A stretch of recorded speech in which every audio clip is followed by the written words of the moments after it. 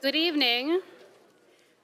I'm Gretchen Crosby Sims, and I'm the executive director here at the Institute of Politics. It's an exciting day at the IOP, and not just because it's David Axelrod's 29th birthday. Today, we're honored to welcome the 29th U.S. Permanent Representative to the United Nations, Ambassador Nikki Haley. I want to thank the International House for partnering with us to host the ambassador's first visit to a university campus since taking office. We are honored. As many of you know, this year marks the fifth anniversary of the Institute of Politics. This quarter in particular, which has included a visit from Prime Minister Justin Trudeau of Canada, and will conclude next week when we partner with WBEZ and Politico to host a forum with all six candidates for the Democratic gubernatorial race, we have had many opportunities to reflect on our mission, which is igniting in young people a passion for politics and public service. Through our speaker series and our fellows program, we promote the respectful exchange of ideas on critical national challenges, opportunities, and debates. Through our internships and civic engagement programs, we equip the next generation of civic leaders to realize their visions of a better world. You can learn more about us at our website, politics.uchicago.edu. In all, we exist to inspire and empower young people, and it is in this spirit that we welcome Ambassador Haley to campus. Earlier, she met with students in our Women in Public Service program for an incredible honest discussion, and now we all get to hear from her. After giving remarks, Ambassador Haley will sit down for a conversation with Institute Director David Axelrod. He will be asking questions from our students, along with a few of his own. But first, to formally introduce Ambassador Haley, is Sean Morrow. Sean is a PhD candidate in political science from Naperville, Illinois, who has been a regular attendee at speaker series events and fellow seminars at the IOP for the past three years. Beyond his coursework, he serves as an active duty lieutenant colonel in the United States Army. And this June, he will take command of the United Nations Security Battalion on the demilitarized zone between North and South Korea.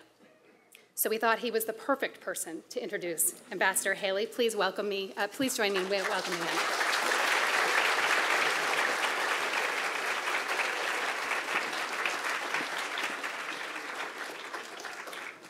Thank you, Gretchen. Good evening and welcome to the historic International House. It's a great pleasure for the Institute of Politics and for the University of Chicago to host Ambassador Nikki Haley. Ambassador Haley is our 29th permanent representative to the United Nations. In that capacity, she also serves on both the President's Cabinet and on the National Security Council. A proud daughter of Indian immigrants, she was born and raised in South Carolina. Ambassador Haley entered the workforce when she was 13. After graduating from Clemson University, she continued to help grow her parents' small business, and in 2004 was elected as the president of the National Association of Women Business Owners. Ambassador Haley brought that business acumen to governance and made history in 2010 in the governor's race by becoming the first woman and the first ethnic minority elected to lead the state of South Carolina. While driving unemployment to 15 year lows and increasing jobs in all 46 counties, Ambassador Haley also led education reform to ensure a more equitable distribution of education funding to the state's poorest communities. On January 25, 2017, she was sworn in as the United States Ambassador to the UN. In this role, Ambassador Haley is focused on the protection of international human rights She's focused on the security of the United States and its interests, and on organizational changes leading to more efficient UN operations around the world. She also led the recent negotiations for unanimous Security Council approval of stringent new sanctions to counter the growing threat from North Korea. In sum, Ambassador Haley has lived a life of service. It's been fostered by experience in business, governance, and diplomacy. She brings those skills now to the most difficult puzzles in international relations today. Tonight, Ambassador Haley will first provide remarks on the current challenges and opportunities at the United Nations. And then we'll have a discussion with David Axelrod, the founder and director of our Institute of Politics. With that, please join me in welcoming Ambassador Nikki Haley.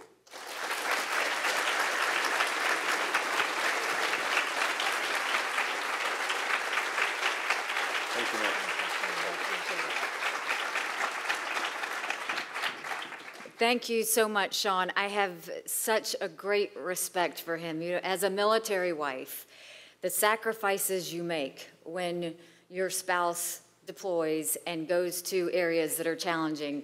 Um, there's nothing like it. So please thank your family as well and stay safe. And I'm going to take a moment of personal privilege, if that's okay. I have a very special guest with me today, um, my Uncle George. Uncle George Haley um, taught here for almost 40 years. Um, in Romance language section, and so I, if you'd stand, Uncle George, I'd love for everybody to welcome you.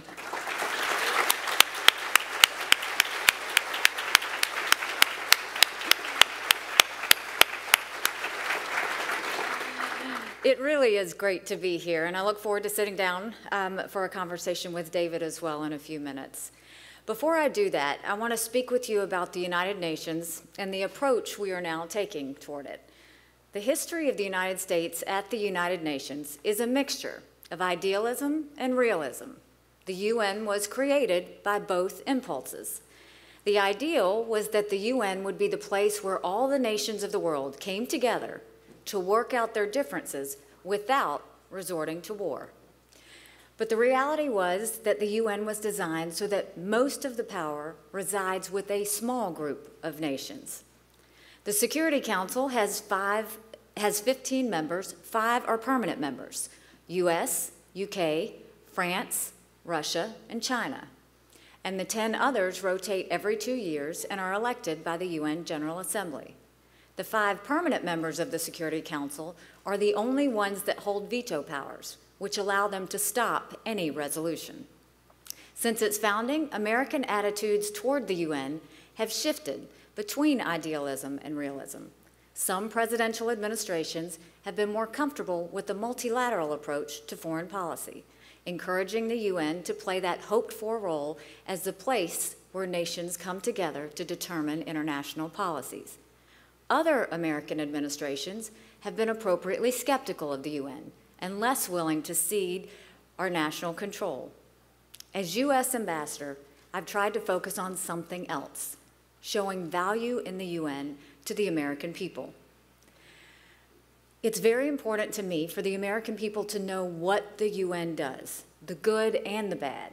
So I've tried to use my role as ambassador to tell the truth. I've used it to show American strength in sometimes frustrating situations, and I've used it to benefit the United States and advance our foreign policy interests.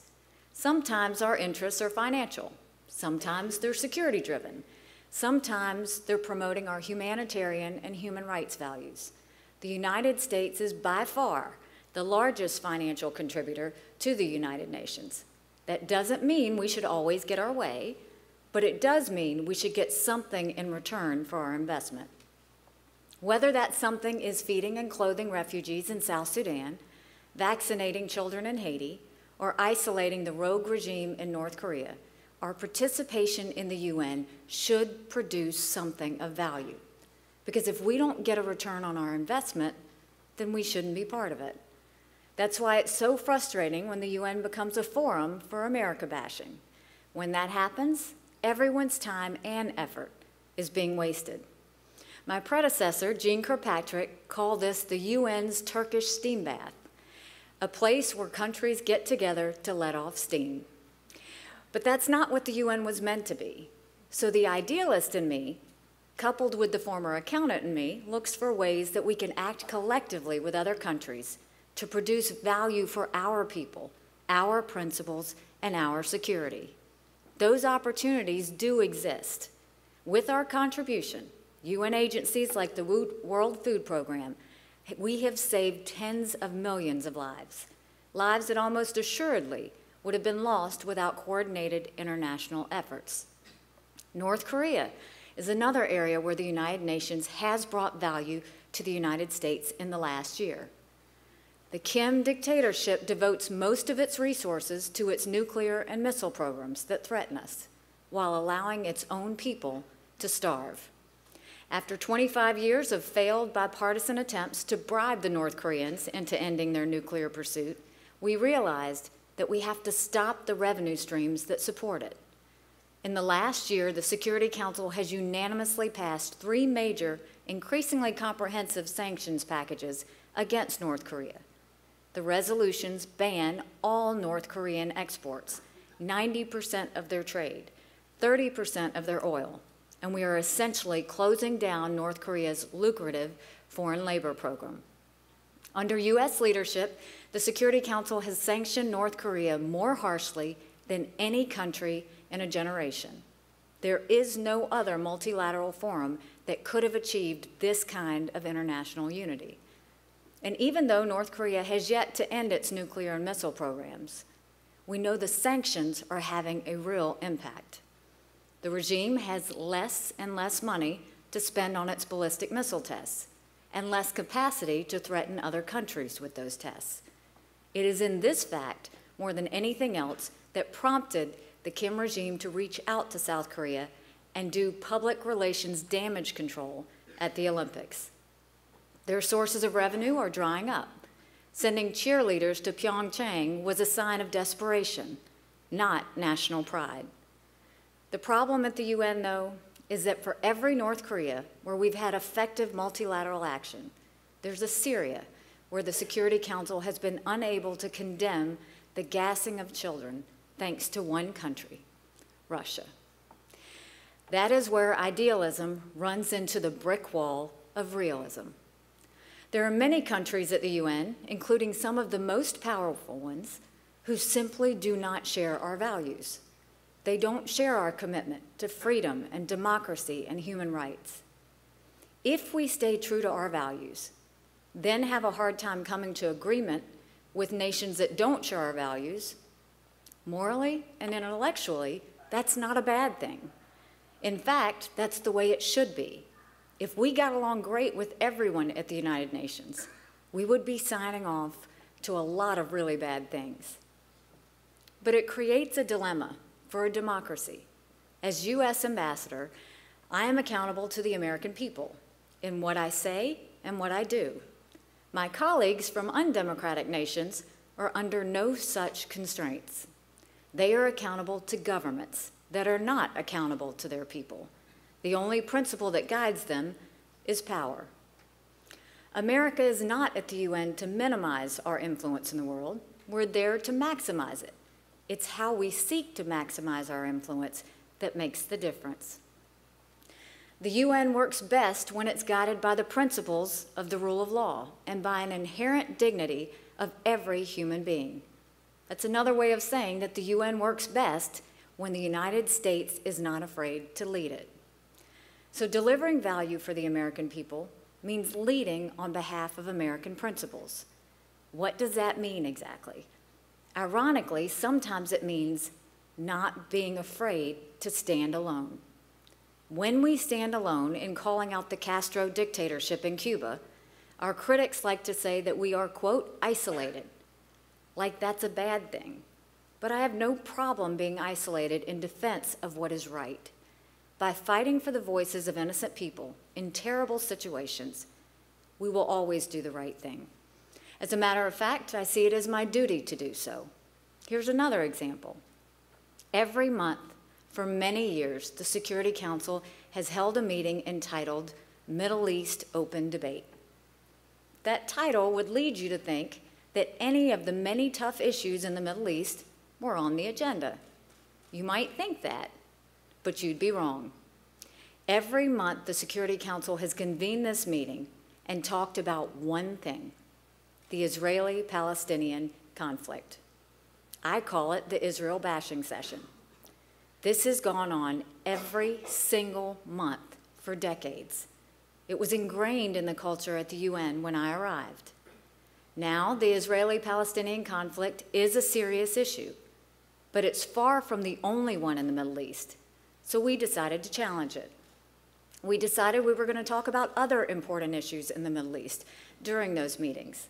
Things like Iran's human rights violations and support of terrorism, or Hezbollah's illegal weapons in Lebanon, or the half a million people that are dead and five million refugees coming from Syria, or the continued threat posed by ISIS, or the humanitarian disaster in Yemen.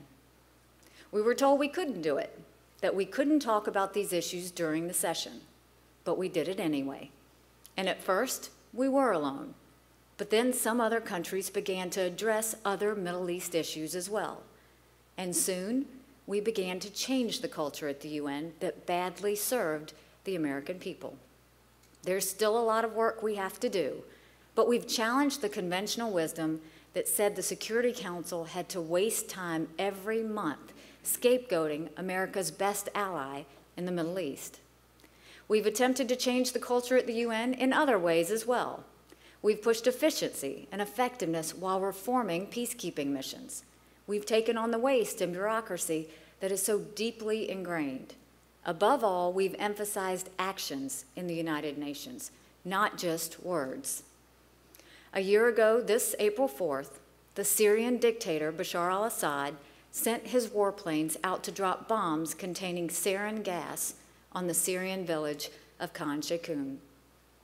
The sarin killed over 80 civilians in one of the worst ways imaginable. A dozen children literally suffocated to death in their own body fluids. A few hours later, Assad targeted the hospitals that were caring for the injured with a second round of airstrikes. The next day in the Security Council, Russia stood in the way of a resolution condemning the attack. They have a history of covering up for Syria. We had a choice to make. We could let Russia use its power to stop all international efforts to demand accountability for the barbaric use of chemical weapons, or we could do something about it, even if that meant doing it alone. Just hours after the Security Council failed to act, 59 U.S. Tomahawk cruise missiles struck the airbase from which Assad had launched the chemical attack. They got our message. And multiple ambassadors reached out and told me it was so good to see the United States lead again. The problem of the Assad regime was not solved by the U.S. response, but our action laid down a terribly important marker. We weren't going to stand by quietly and watch this dictator shred the international standard against the use of chemical weapons, and we weren't going to allow Russia's lack of principle to keep us from defending our principles. That's a lesson the Assad regime would be wise to continue to keep in mind. The United Nations Charter commits all its members to the pursuit of peace and security based on the equal rights and self determination of all people. In practice, the UN has always fallen far short of that ideal. But the more the United States leads on behalf of those principles, both in and out of the UN, the closer we come to living out the noble intentions of the Charter. And the closer the UN comes to living up to its ideals, the more value it delivers to the American people and the world. Maybe it's just the idealist in me, but I think that's a good thing. I want to close today on a note about leadership, not just at the UN, but in our politics and on our college campuses. As U.S. Ambassador, I have gotten to know former Secretary of State Henry Kissinger. One of the best pieces of advice Dr. Kissinger gave me is one that helped me make is one that helped make him one of the most important foreign policy thinkers of the last century. It is advice that I had also known in a very different setting when I was governor of South Carolina and we were able to get agreement to remove the Confederate flag from our State House grounds. But it's advice I had not previously thought about in relationships between countries. The advice was simply this put yourself in your adversary's shoes, understand what he or she wants, and use that to guide your negotiations. You don't have to agree with them. Most of the times you won't. But you have to understand where they're coming from. This is a skill that I am afraid is being lost in America today. Real leadership is bringing people around to your point of view by showing how it is in their best interest to do so. But on many college campuses, as well as in our politics and in our media culture, just the opposite seems to be the goal. There seems to be more of an inclination to seek virtue in our differences than to build on what we have in common. That can be a recipe for an endless conflict. Far too often, we are inclined to see those who disagree with us as not just wrong, but pure evil. In the last year, working in depth in foreign relations, I've seen true evil, and it's not in the American political system. In South Sudan, where rape is routinely used as a weapon of war, that's evil. In Syria, where the dictator uses chemical weapons to murder innocent children, that is evil. In North Korea, where the depraved regime forces its own citizens into slave labor and tortures American student Otto Warmbier, that is evil. For those of you who are interested in American politics and thinking about a career in public service in our country, I urge you to remember that your political opponent, opponents are not your enemies, and they are not evil. They are just opponents. Take it from me, there's a big difference. Thank you so much for having me today.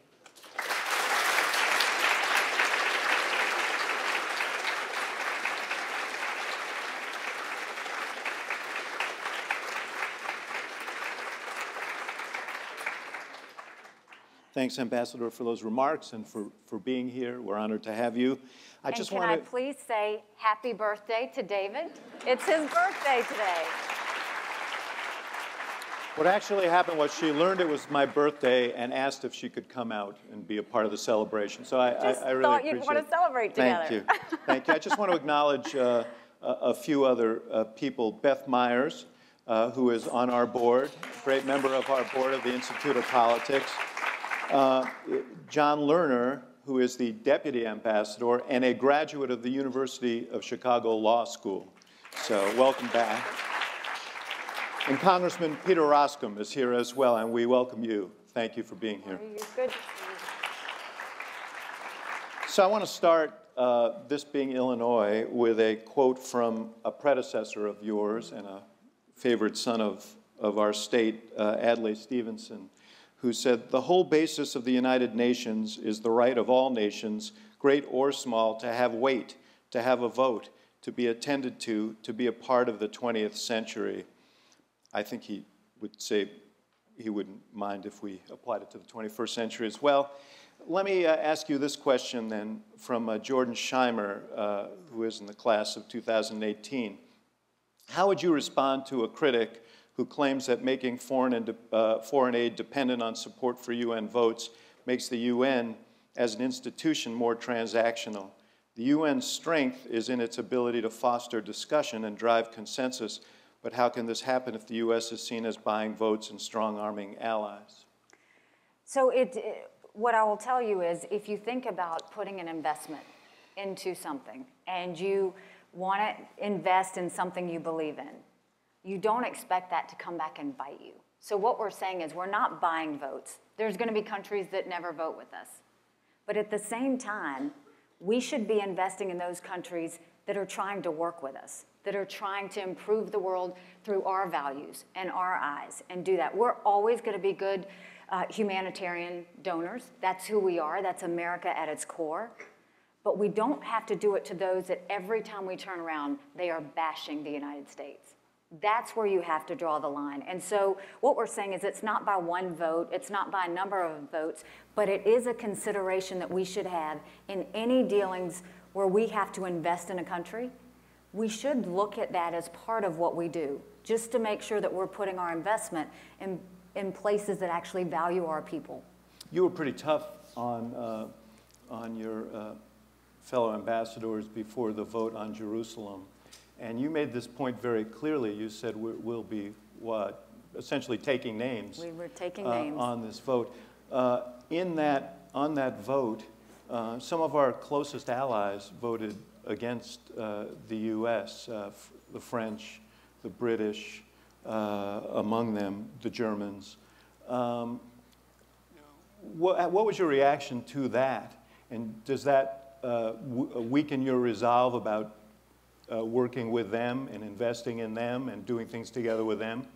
No, I, you know, that's one factor that we always have to remember. I will tell you that I expected a Security Council meeting dealing with the move of the embassy.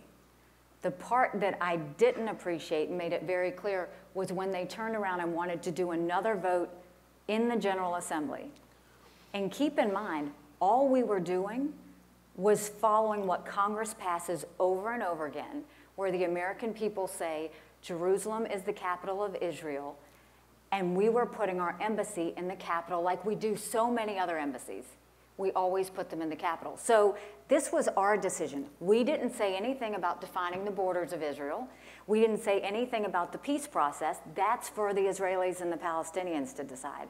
So when that vote came, I actually thought we were going to have maybe two or three with us. We had 68 that didn't vote against us. And Not I- nine voted with you, Nine voted with us, but the we rest had, abstained.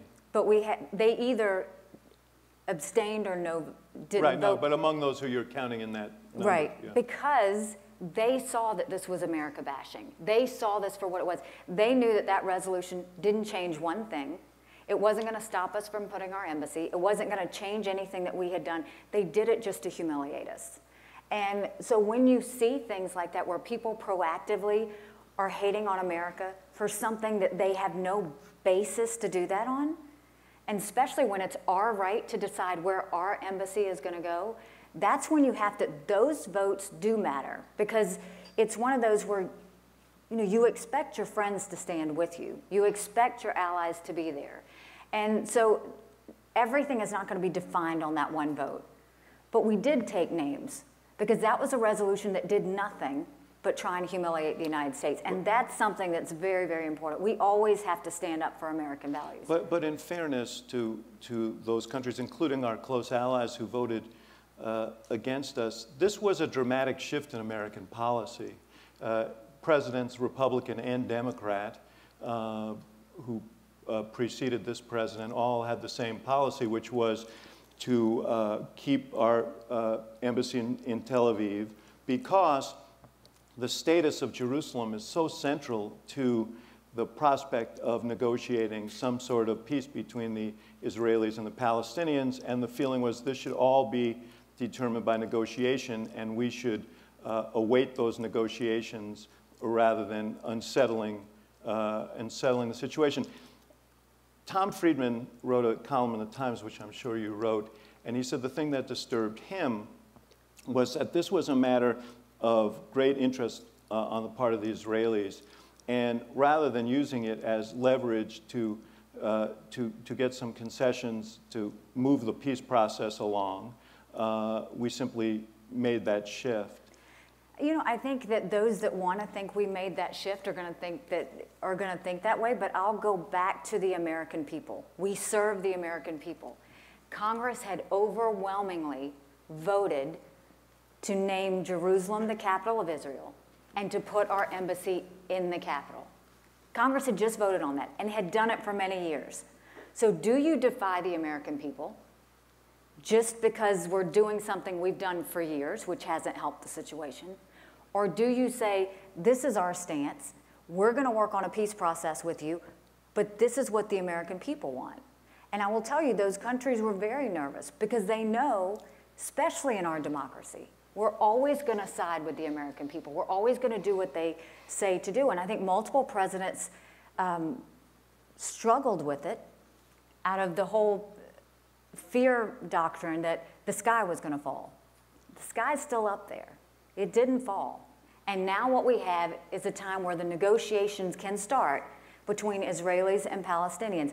The, the negotiations and the ultimate peace process is not going to be what the United States wants.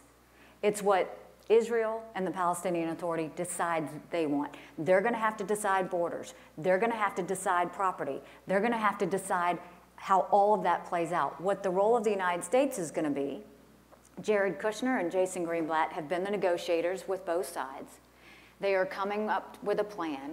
The plan won't be loved by either side, and it won't be hated by either side, but it's a template to start talking. When are we going to see that plan? I think they're finishing it up. I mean, I, they're still going back and forth, but the way they've come up with that plan is by listening to Palestinians and listening to Israelis. And then when you do that, you're actually making sure you're hearing both sides and what they want. And so I think we, it, the other side of that is, I think with the passage of Resolution 2334, which basically hit Israel again uh, a year ago, what we're saying is Every time you talk about the Israeli Palestinian conflict, every time you have a vote like this, you are splitting up the two sides. Our goal is to bring them together, and all you're doing is getting them more angry at each other, and that's not helpful. Uh, let me, uh, on this subject, here's a question from Jacob uh, Biederman, class of 2021. Uh, last year, the administration drew controversy in announcing its plan to move the Israeli embassy to Jerusalem. The Israeli-Palestine conflict, no matter how close to resolution it has come time and again, seems sometimes to be endless. Do you see a peaceful resolution in sight, and what does it look like? One state, two state, or are we cursed to fight this fight forever? No, I think it's a great question. It's for them to decide.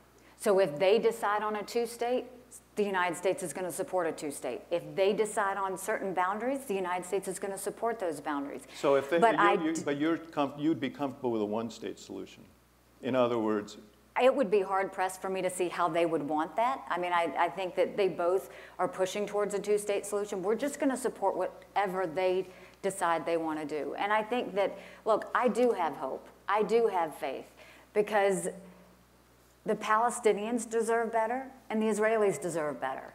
And right now, the way things are, they're in conflict. It's not good. It's not a good situation to be in. If the leaders would put aside their pride and their egos and think about their people and improving the quality of life for their people, this peace process will do that. That's what we hope to accomplish. There's been this enormous proliferation of settlements and building. Uh, uh, which has been nor an enormous uh, uh, accelerant in the hostilities between uh, both sides.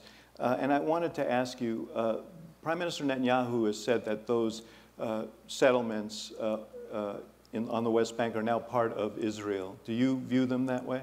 Well, first of all, we've always said settlements are not helpful. At this point, when we're trying to get a peace process, it's not helpful. Having said that, the settlements that he is following through on are prior to what we have said we were going to do going forward. So they have said they're going to hold off on um, settlements going forward. I hope they do that because it only, again, angers the situation. Um, I want to ask you, you mentioned uh, uh, human rights mm-hmm. in, your, in your remarks.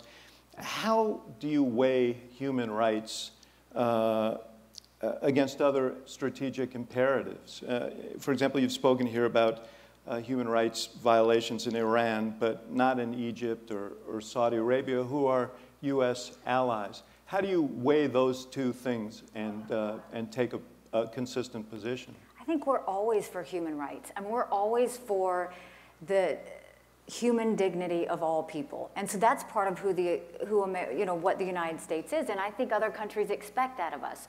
So we always raise it with them. I think that with the Saudis, we were um, pushing them, and it's nice to see that they have now they're allowing women to drive, which is great, but I hope they go a lot further with that. And we'll keep telling them that they need to go much further than that. Human rights is always going to be right there at the top. We're never going to look the other way when it comes to human rights. But there, there's plenty to criticize Iran about, for example. But uh, when you look at Egypt versus Iran in terms of democracy, and elections and so on, it's, it's hard to say that Iran is, is, is worse than Egypt. We have no problems criticizing Egypt as well. We'll criticize anyone that doesn't take care of their people. And do you think that's the case with Egypt? I think it depends. You know, every country, look, we're not perfect when it comes to human rights. They're not going to be perfect when it comes to human rights, but we're not going to back I'm happy down. To say we're better than Egypt. We're better than Egypt. Yeah. And I think we have to continue to remind Egypt that we don't agree with the way they do things, and the same way we do with Saudi Arabia and the way we do with Iran, and we'll keep doing that. Um, I, I want to come back to Iran in a second. Here's a question from uh, Kirk Lancaster, the class of uh, 2018. As new cases of the Assad regime using chemical weapons emerge, there are growing questions about whether Syria's actions and the lack of serious response by other countries are eroding the global consensus against chemical weapons and damaging broader norms and institutions that underpin the international system, who will hold Assad to account for chemical weapons?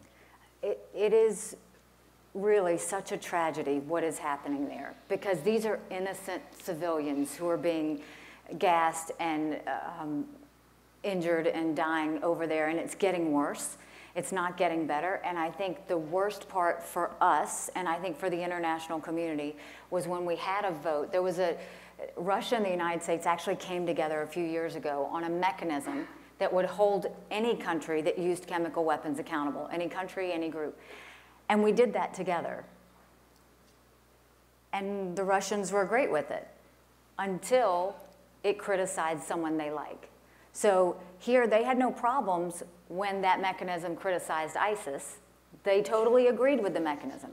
But when the mechanism suddenly criticized the Syrian regime, they said it was a fraud.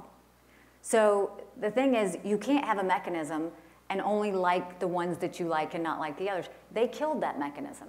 So when we had the vote this year, they vetoed it. So now we don't have that anymore. And we have to make sure we always hold chemical weapons abusers um, to account. We you, have you to. mentioned the president struck Syria uh, after a previous chemical weapon attack. We've seen new evidence of the use of chemical weapons.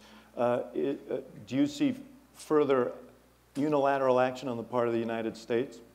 I think that this is something we're always going to watch. We're trying to get all the countries to acknowledge. Right now, you've got so many hands in Syria's pot. So you've got the Syrian regime, you've got Russia, you've got Iran, you've got us there. You're starting to see Turkey come into that. What we have to do is make sure that they all understand chemical weapons for any reason whatsoever cannot be used in this situation. Russia has covered for Assad many times. We now have to decide what's the response to that. The mechanism that we had, they've just killed. So we've got to come up with so some military other, option is a, is a live option. You know, it's military options are always going to be on the table for any situation. But I think we also have to understand we don't want to be in the center of the Syrian conflict, but we do want to make sure that we're going to do whatever we can to help the people on the ground to make sure they're not subject to chemical attacks. We've put a lot of pressure on Russia. Um, there was a um, request by the Secretary General yesterday to the Security Council to do something about what's happening in East Ghouta and to make sure that um, basically asked for a ceasefire for one month to stop all the parties from fighting.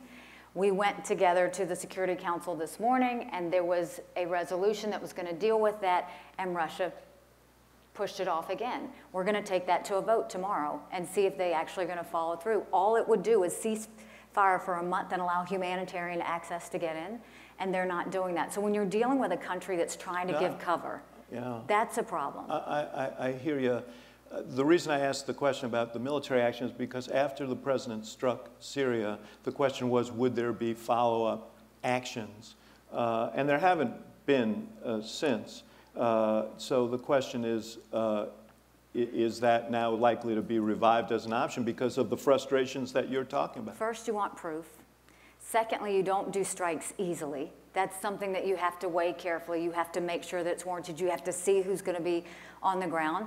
And I think that the president has made a point of not telling what's going to happen and not having that um, out there for them. But I think that Assad very much knows we will act if we see proof that they have done this. And they're walking a fine line again down that path. One truly tragic byproduct of the Syrian debacle is 5 million refugees.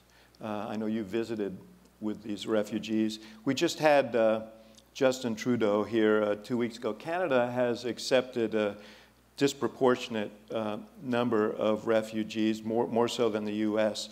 And I ask you this as a, the son of a refugee uh, from another time what is our responsibility as the world's uh, richest and most powerful country to help alleviate this crisis? So we're always um, wanting to help people from other countries, whether they've been persecuted for whatever reason. And there is, I'll go back to my time as governor in South Carolina. Um, we have had a refugee program for a long time that really helped the vulnerable that we would have come in. And South Carolina always participated in that. And one example is when my husband was deployed in Afghanistan, um, there were two interpreters that kept his unit safe. And had they not done that, um, you know, obviously there would be uh, challenges on their end, but if they stayed when the unit left, they would also be killed. So that refugee program, that's the good part of it, is you go and you take care of those that helped our soldiers and did that. Now, when the Syrian refugee situation opened up, as governor, I called uh, Director Comey, who was the FBI director at the time, and I said, okay, we take these in this refugee program. How are the Syrian refugees the same or different? And he said, in the refugee program, we have information. In the Syrian refugees, we have nothing. We don't know. We don't have enough information. And at that time, I said, then we can't have them in South Carolina. You can't take a chance of your people not being safe. In the refugee situation, I think the United States always wants to welcome refugees, but I do think at this time in the world, safety and security for the American people is the president's top priority. So he has told his security team, figure out a way to get information on all of these people that we don't have it, and hopefully we can start to lift that and allow further refugees to come in.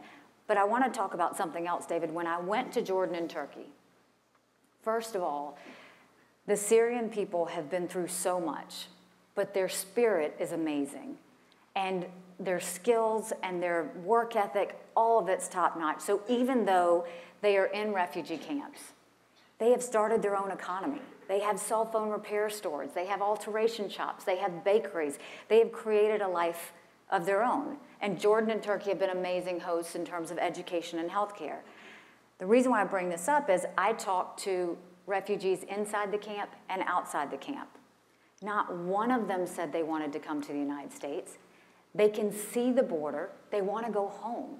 Even if it means they rebuild it with their own hands, they want to go home. And that's what we have to think about with all of those. So, what the United States has done is heavily supported Turkey, heavily supported Jordan in being host countries to take care of these refugees so that they can stay close to home but our ultimate goal is to stop Although this those conduct. countries have said that they've sort of reached their limit uh, for their capacity to handle these refugees, and there's no imminent, because of the situation we talked about, no imminent chance for them to go home. So it does Well, create this, I'm not giving up hope on them going home. I think we can't ever give up on that. But the other side of that is when you look at those countries, what we did when I came back was we met with the Jordanian government and the Secretary General. We met with the Turkish government and the Secretary General, and we said, how can we help? Because what the United Nations was doing, what the US was doing, was giving them aid like it was year one of the conflict. Food and water wasn't what they needed anymore. This is year seven of the conflict it was infrastructure. They needed help with their hospitals. They needed help with their schools because they were double shifting schools. The Jordanians would go in the morning and the Syrians would go in the afternoon. Same with the, the Turks. So now we're investing in helping them deal with the pressure of the infrastructure. well, let me ask you, this is a question from Noah Levin, the class of 2021, uh, related. How is your parents' status as immigrants uh, affected, if at all, your stance on immigration? You, you, your story is well known. Your Yes. parents were immigrants from India. Uh, So I- I am very, I always say I'm the proud daughter of Indian parents who reminded my brothers, my sister, and me every day how blessed we were to be in this country.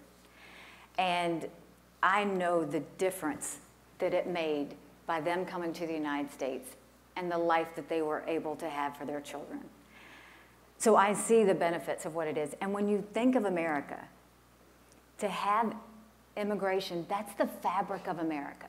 That's the fabric of America because you have so many gifted and talented people that come into one country celebrating our freedom, celebrating our hopes and dreams as we go forward. But the United States was built as a country of laws. If we stop following laws, we lose everything this country was based on. And so my parents will be the first ones to tell you they came here legally, they put in their time, they paid their price, they did it the right way, and they expect the same thing of others that want to come into America is to go through the same But what process. about proposals did. that would cut legal immigration by 40%? Are you comfortable with that?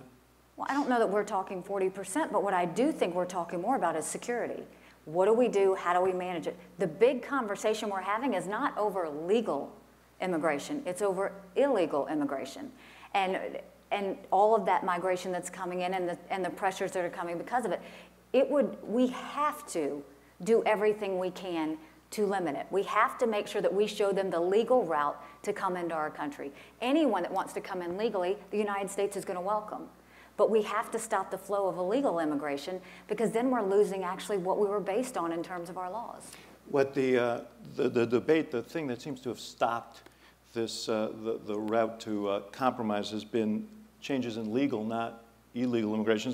This, uh, Avery Siegel from the class of 2018 said, How do you reconcile your family history with the Trump administration immigration policy, specifically the desire to end so called chain migration? Look, again, I'll say the same thing. My parents remind us how blessed we are to be here, but they very much strongly believe that this country needs to stand on legal immigration. Mm-hmm. They, But they, that, that is, we're talking about legal immigration. no, but if, but if they limit, even with it's the, the chain migration, even if they limit it, that's our laws. For whatever reason, if we decide what we're going to do, But we should we, I guess is the question, should we decide that? I think if we decide that, it should only be decided based on security reasons. It mm-hmm. should only be decided on security reasons. And if, for any reason, we have questions about that, that's something we need to look at. Um, let's talk, talk, turn to North Korea. Uh, Avin Krishnan, uh, the class of 2021, said, uh, What are your thoughts on nuclear deterrence and how does that affect your strategy towards North Korea? So our focus really with North Korea was this has been 25 years in the making where we have seen North Korea build up their nuclear systems. We tell them, the international community tells them to stop. They ask for money. The international community has given them money, and then they go back at it again. Our goal now is how do we break that cycle? And the truth is, the cycle can only be broken when we stop the nuclear program altogether. The money that North Korea gets from trade and other things, they don't use it to feed their people. They don't use it to improve the quality of life for their people. They use it to put in their nuclear program. So the point of the sanctions was if you reduce the revenue that's going to North Korea, you're slowing down the process of their nuclear program. You're cutting the funds they have to continue to build. They clearly are now feeling the pressure. I think that the fact that they're talking with South Korea, they're neighbors, they need to get along. That's fine that they talk, but we can never lose sight of the fact we still have an irresponsible um, government in charge of a nuclear program. And until they agree to give that up, and that's full unity of the international community who thinks this, we're going to continue to go down the path where we hold them accountable. You raised some uh, eyes, eyebrows, uh, eyeballs as well, probably, but um, uh, by talking about the prospect or possibility of war, uh, do you think that that possibility has receded at all since the uh, sanctions that you mentioned that were passed in December? I- think that that possibility is solely on North Korea. I mean, if North Korea continues to say we've got our missiles aimed at the United States, it- it- they continue with the rhetoric and they continue to talk about how they're going to destroy America, they're not helping themselves. Because our job is to protect ourselves and make sure that they don't hit us or our allies. I think that, you know, really what we have to watch right now is their actions. If they, if they don't do any other testing, if they stop their rhetoric, and if they really look at what the international community is asking them to do, which is denuclearize, then we'll look at something else. But all options have always been on the table when it comes to North Korea. So giving up all their weapons, their missiles, all of it would be. Their, th- nucle- their nuclear program is what we're saying they have to stop. Uh, stop or uh, surrender all of their Surrender nuclear. anything tied to their nuclear program. And if they refuse to do that, uh, the, the, the military option you think is, is a real and viable one? I'm not going to talk about options. I will continue to say everything's on the table. Because most experts say that would be a pretty horrific conflict, and that our allies, you mentioned our allies, would pay a big price in terms of hundreds of thousands, perhaps more. I mean, of David- death. Is that a viable option? David, nobody wants to go to war. Nobody wants war. And that's always the last option. So, everybody, that's a heavy hearted decision when you decide that you're going to do something. And you only do it when you know there's a real threat. So, again, you can talk to any country, ours included. War is always the last option. But this is all up to North Korea. They can either want to be taken back in by the international community or they can continue to be isolated until they denuclearize. I want to ask you about uh, Russia. Uh, you said um, uh, recently, I guess last fall, I will tell you that when a country can come interfere in another country's elections, that is warfare. It really is because you're making sure that the democracy shifts from what the people want to give uh, to uh, want to giving out that misinformation And we didn't just see it here. You can look at France and you can look at other countries. And there were many. There were Bulgaria, Ukraine, Estonia. Uh, Fran- uh, you mentioned France and maybe Brexit. Uh, Yeah. um, and you said they're doing it this everywhere. This is the new, their new weapon of choice, and we have to make sure we get in front of it. You saw the Mueller indictments of the Russians last Friday, which describes in detail exactly what you were talking about. And you said earlier that you, we have an obligation to act on the, uh, on the will of the American people as expressed by Congress. Congress unanimously passed uh, very, very severe sanctions against the Russians as punishment for this very behavior. The administration hasn't yet executed those sanctions. Why? So first of all, I think that we have to be very clear. The Russians did meddle in our elections. There's no question about that. It didn't change the vote. What they did was they tried to influence the narrative, and that's what we have um, intelligence on, and that's what we know. Having said that, we're starting to see that they are using that as their new level of warfare. They're doing it in other countries, and it's not just the Russians. We're seeing the Iranians are now starting to do it as well. And so I think this is something that the United States is going to have to start to look very closely at. When it comes to Russia, I want to point out some things that, that has happened over this past year in reference to Russia. We have greatly expanded our energy capacity. We've greatly expanded our military capacity, two things that Russia doesn't want us to do. We've continued to keep the sanctions on Crimea. We have expelled their diplomats. We have continued to put more sanctions on Russia, which the State Department has said have been executed. Um, we continue to put all pressure on Russia. There is no way we are giving even an ounce of breathing time to Russia as long as these issues are there. We just gave the Ukrainians arms in order to protect themselves from Russia. So, you know, all of the things that this administration has done towards Russia, they're really strong things. They're really Yeah, important things. Not they just don't. they- direct, related to this, but related to other things. But my, my question for you is, you just, and you have consistently made a very strong statement about what the Russians did Mm-hmm. and, and why we can't tolerate it. Why can't the president do that?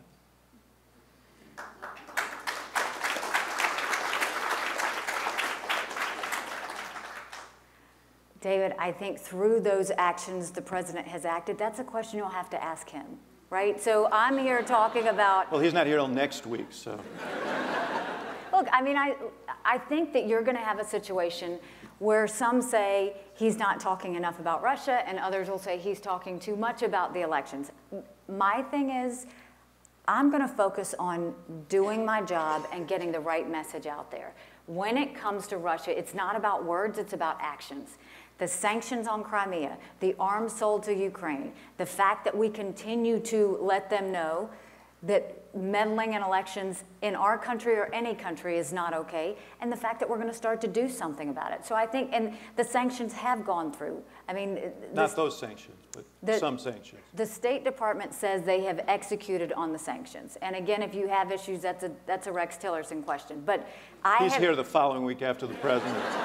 I have asked Rex, and we have asked the State Department, and they said the sanctions are being implemented. Mm-hmm. So everything that I know that we've done towards Russia, we're following through. I have no problem beating up on Russia. I never have. Now, Because- I, I know, that's why it's noticeable. You know, I have my style, the president has his style. It's just, Have you been, you're in his national security cabinet, have you been at any meeting directed by the president where you actually discussed what Russia has done and what the steps are going to be to deal with that? yes.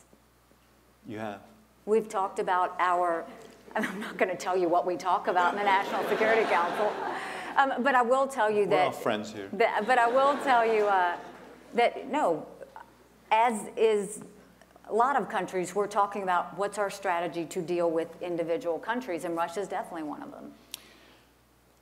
Talia Mount, Mountjoy of the class of 2018 said, This is a question I've wondered all my life as an Iranian American. What conditions have to exist for us to reestablish diplomatic relations with Iran? And given the Iranian people's desire to be more integrated with the West, do you see that happening anytime soon? lastly, is there anything the U.S. can do right now to speed the process along? You know, the Iranian people are finding the power of their voice, and I love that because they're really, you're starting to see protests, you're seeing them really come out against the government, whether it's economic, whether it's human rights, whether it's um, really trying to move their government in a good direction. And the United States continues to support them on that because we think it's, it's very important. Uh, Iran is becoming a really big problem because human rights is the last thing they're thinking about. Terrorism is something they continue to support. We're seeing their involvement with terrorism, whether it's with Hamas in Gaza, we're seeing it in Hezbollah in, in Lebanon, what they're now doing in Syria, causing problems. They're, they are a problem, and it's not the people, it's the government. And so I, it is a real challenge for the people right now because they're out there, they're protesting, and they're being punished for protesting.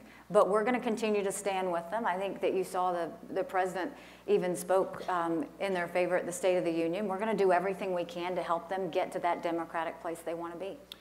The things you're talking about are serious and disturbing, but they, they live outside the, uh, the nuclear agreement that was struck between the P5 plus one and, and Iran. Do you uh, do you think they should be uh, considered? Uh, and you, I guess what I'm asking is, do you think that we should withdraw from that agreement?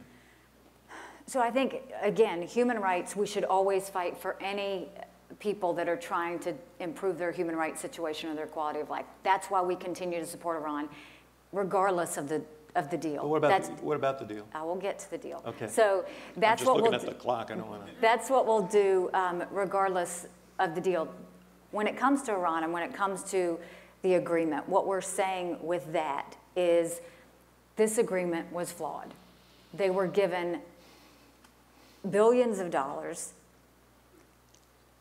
and they were supposed to stop nuclear activity, which they have done. They have followed through on what they were supposed to do with the JCPOA plan, but they're violating UN resolutions by continuing to test ballistic missiles, by selling arms like they have done to the Houthis in Yemen, and they continue to support terrorism. So when you look at those things, what we're saying is the international community can't be so beholden to this deal that they're going to look away from all of these other bad actions that they're taking. We have to hold them accountable for those actions. We have to make sure that we are still putting pressure on them. And the international community is shaking, saying, no, but they'll get out of the deal. They're not going to get out of the deal. That was the best thing that ever happened to Iran, was they got a ton of money and they were able to go and start their life over, but continue to do bad things. And so we are putting pressure on Iran that they've got to correct their behavior. And then we are also looking at the part of the deal that has the sunset clause. Because all that deal did, after we gave all of that money and said they couldn't do this, it only lasts 10 to 15 years, basically where it stops things. We're already three years in. So you're looking in six or seven years, they're going to be able to do it all over again. And that's not what we want.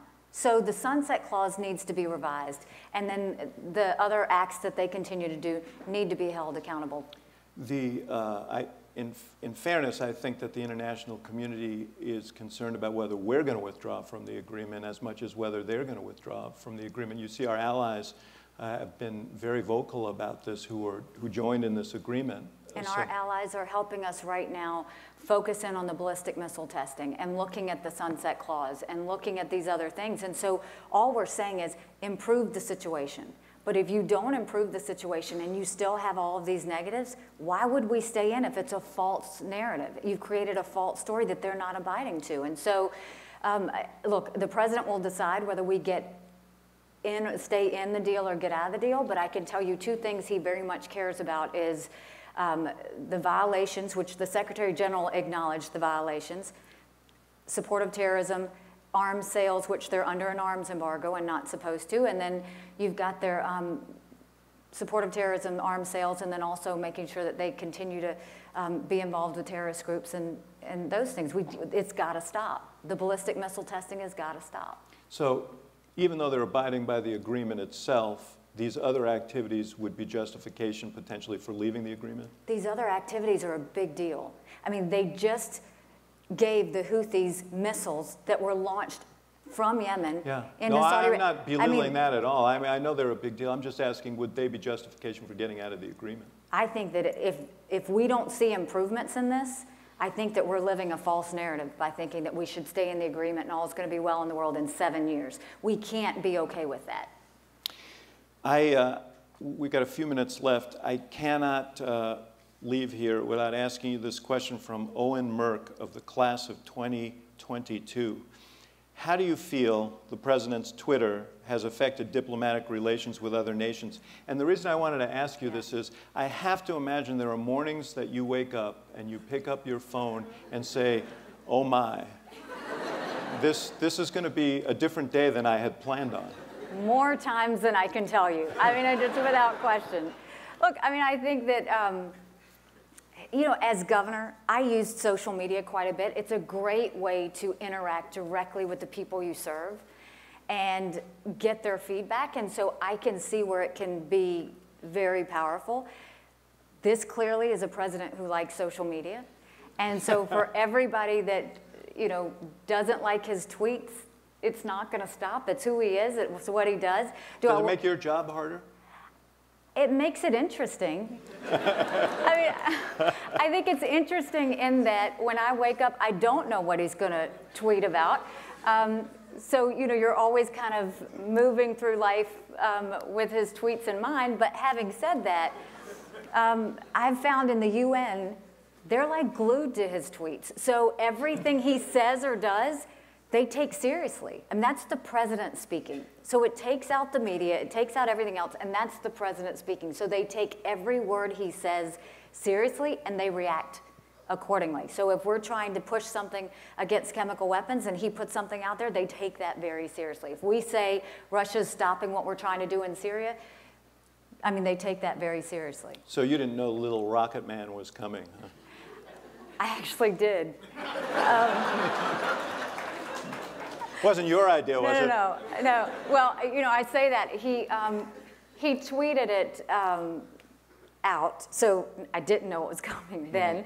So I saw it in, in the Twitter, but he had to give the UN um, big speech Oh, yes, at the. General Assembly, and he called me that morning and he said, I, I said, okay, now, Mr. President, you need to understand, this is a serious crowd. They're not going to rally. They're not going to cheer. That's just not who these people are. So don't take it the wrong way. And so that was the, the first thing. And then um, I said, just think of it as church. You're, you're speaking in, to church. And so then he went and he said, well, I got to ask you, what do you think about me saying Little Rocket Man in the speech? And you said, would you say that in church? I said, I said, well, it's kind of a formal crowd. Um, it would be different. And he said, I think it's catchy. I think it works. But this is the thing. After he said it at the General Assembly, literally, heads of state are referring to him as Little Rocket Man. I am getting all, I had an African president that I met with right after, and he's not even using Kim's name. He's calling him Little Rocket Man. So it, you know, it, it works. No, he does. He's, he appends names to people for sure. Yes, he does. So I, I can't, I, as we close, um, we, we've just gone through a national, another national trauma down in Florida. I know you personally dealt with this as a governor, and I wanted to ask you about that. You, know, the uh, horrific shooting in Charleston and uh, the aftermath of that.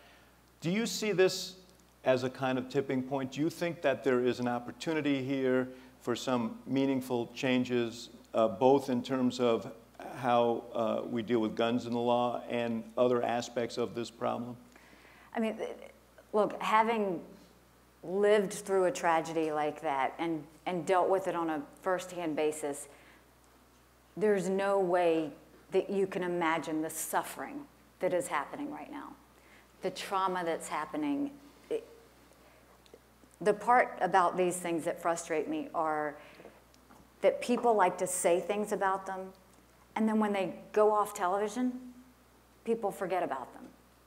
And these were people's lives that were affected. I can only tell you from my personal situation, when we had the Charleston tragedy, the state was broken. Our hearts were broken. Because here you had 11 amazing people who did what South Carolinians do all the time on Wednesdays. They went to Bible study. But on this day, someone who didn't look like them, didn't act like them, and didn't sound like them walked in. They didn't call the cops. They didn't throw him out. They pulled up a chair and prayed with him for an hour.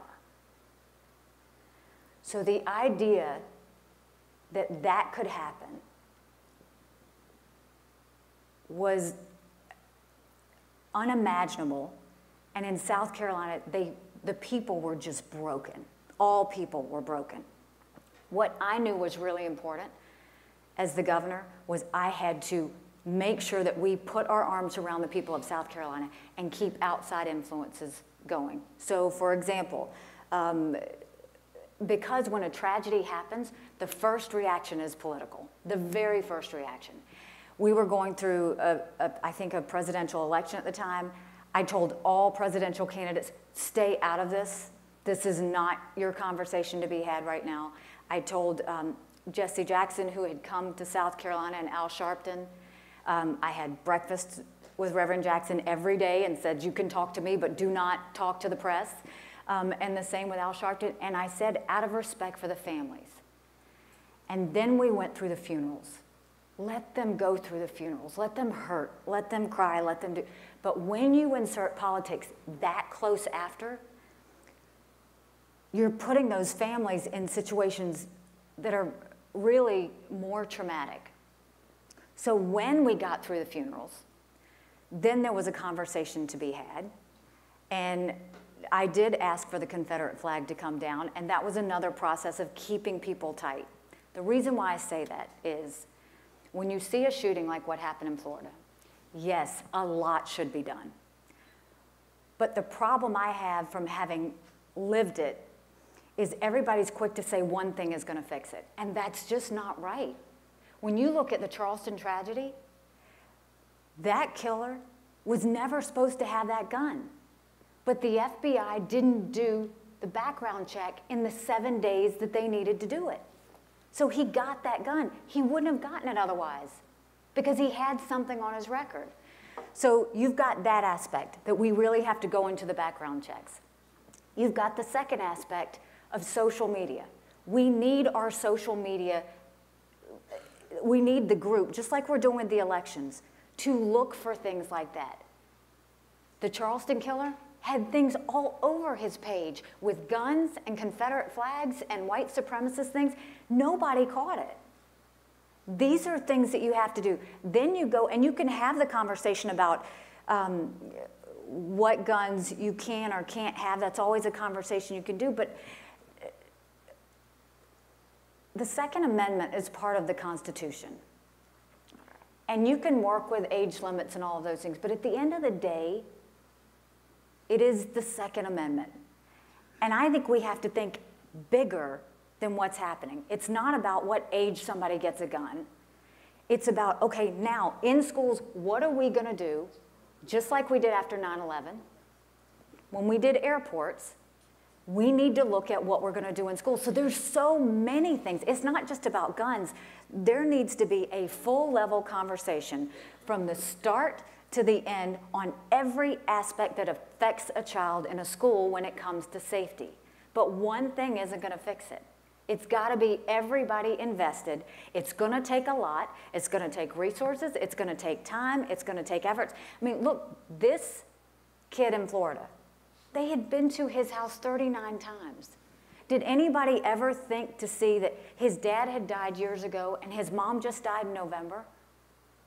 I mean, there's where were, you know, if there was a mental health history, who was watching him? These are, eh, so it's a bigger conversation. And so I get frustrated when you've got this massive tragedy that changes lives and everybody wants to politically talk about it, but you got to talk about it in so much more depth. You have to talk about it from the aspect that we are all responsible.